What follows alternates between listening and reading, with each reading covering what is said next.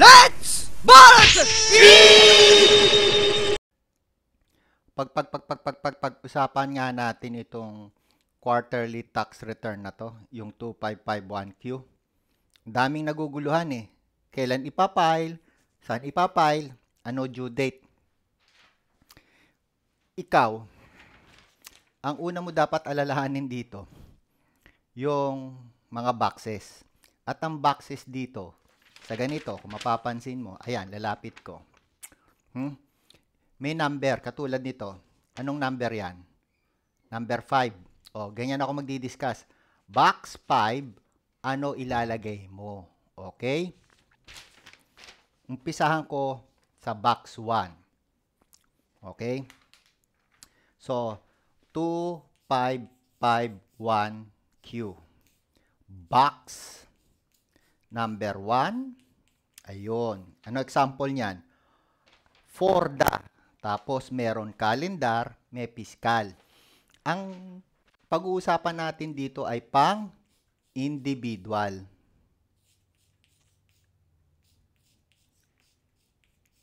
Okay. Box number 1. Ang nakasulat ay calendar. Fiscal. So, ang choices mo, calendar o fiscal. Pag ikaw ay individual, ang i-check mo ay calendar.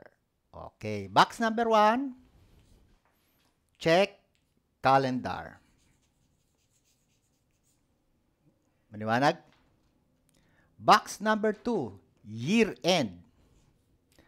O di, ang year end, ang tinatanong dyan, yung first two ha, spaces, eh, lalagay mo 12. Representing December. December po yan. Okay? Ngayon, eh 2018 tayo ngayon. O, hindi lalagay mo dun sa next four spaces ay 2018. Naliwanag? Box number 3, quarter. Okay. Ngayon, ang quarter may apat. May nakalagay doon. First, yan po ay January 1 hanggang March 31. Second, yan po ay April 1 hanggang June 30. Third, yan po ay July 1 hanggang September 30. And fourth is October 1 hanggang December 31. Yung po ang equivalent ng first, ito yung quarter, first, second, third, and fourth quarter. Yun ang equivalent. Ngayon, pag-usapan natin yung due date. Okay. Sir, ano due date nito? Oh, nakasulat ha, Section 128. Tax Code. Ito daw babayaran yung first quarter ay sa April 25. Second quarter, babayaran mo ng July 25.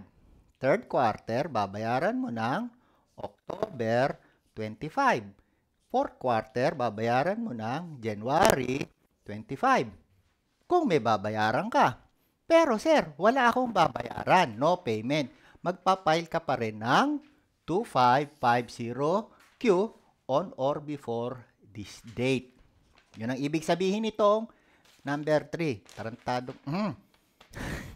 Number 3, napakaba na explanation. Number 4, amended return. Box number 4. Isusulat mo, hindi yes. Ang check mo, yung no. Number of sheets attached. Ngayon, ginagamit ho itong number of sheet attached kung meron ho kayong annexes.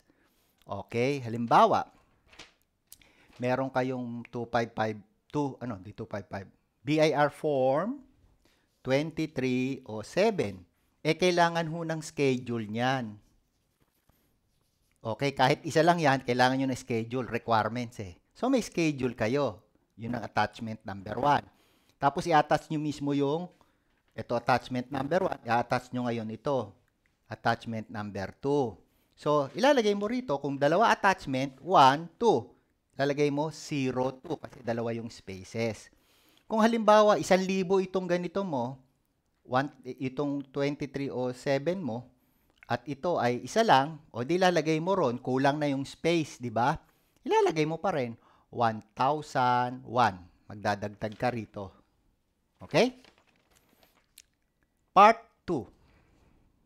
Background information. Box number 6. O ilalagay mo yung TIN mo. Katulad ko, ang TIN ko is 1, 2, 9, 5, 9, 6, 2, 30. Sir, kulang. Ha? Ang nakasulat dito, uh, 12. 12 spaces. Sa'yo is uh, 9 lang. Dadagdagan mo ng 0, 0, 0. O di 12 na siya. Yung huling dalawang nam boxes do at tatlong spaces doon, ilalagay mo 0, 0, 0. Okay? RDO. O kung saan ka RDO? Katulad ko, RDO 39. 'Di ba? RDO 39 ako. So susulat mo 0, 39 sa box 7. Line of occupation. O itilagay mo tax specialista. Yan, dun sa box 6. Eh sir, trader ako eh. Ano ilalagay ko? O idilagay mo trader.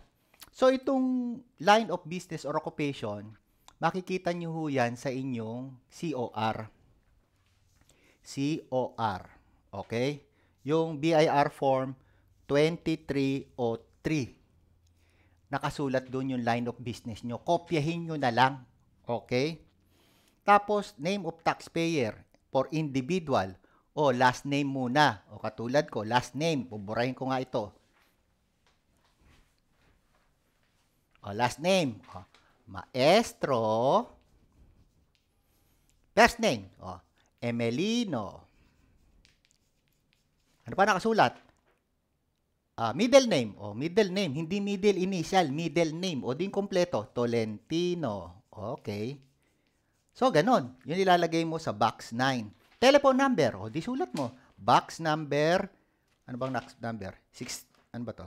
Box number 10, o di ka, 02 921 6107. O, ti para alam ng BIR na nasa Manila ka. Okay? Pero ang hinihingi lang ito, pwede mo siyang idagdag. Registered address, o edi ano yung address mo? Yung nakasulat sa 2303 mo. Eh sir, lumipat na ako. Eh edi yung bagong address mo ilalagay mo rito. Ha?